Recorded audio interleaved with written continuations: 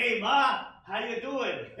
yeah, I'm sorry I haven't been around lately, but you don't know what's right for a person in my position. I hardly have moments for myself anymore. Liar! What? How could I have given birth to such a ungrateful son? Ma, is that you? No, it's Lucy Liu. of course it's your mother! The ghost of your dearly departed mother whom you rarely visit. Oh, come on, Ma, I've been busy. Kim Jong-il, don't make excuses! And stand up straight! But I am standing up straight. Oh, you little shorty! That come from your father's side. Papa, I'm not short. Ah, whatever you say. Ma, I brought you a gift. Uh, plastic flower. Are you unemployed? Did you lose your job? No? I still have my job. Are you sure? Really? We can see it in the afterlife. You know, I haven't seen you in the news lately. Where is Kim Jong Il? Not in the news. Some million. The millions we see in the news are uh, uh, Saddam Hussein, Osama bin Laden, George Bush. Uh, I some son that I have can't even get CNN to cover you. Oh, Ma, I tried as hard as I can. Ah, you must not love your Oh, mother. no, I love you, Ma. Now, Ho Chi Minh, he's a very good boy. Uh, He made his mother proud. Ma.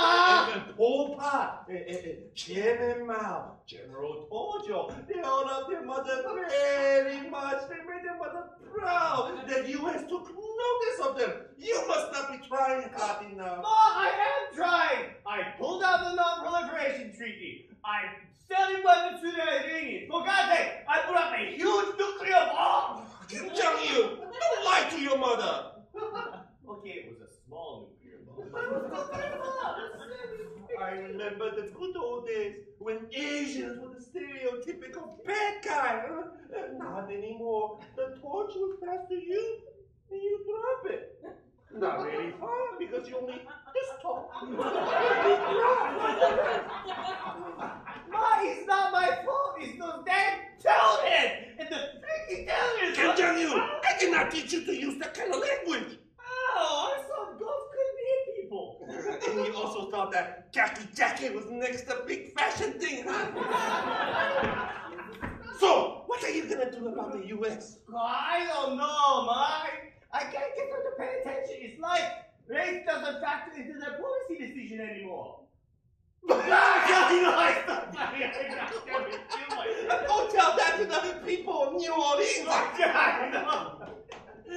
Oh, son, you just keep what you do, and the U.S. will take notice. We don't have any oil, but when you blow up a real nuclear bomb, the White Devils will have to know this because you are a ruthless and batshit insane. Oh, thanks, Mom.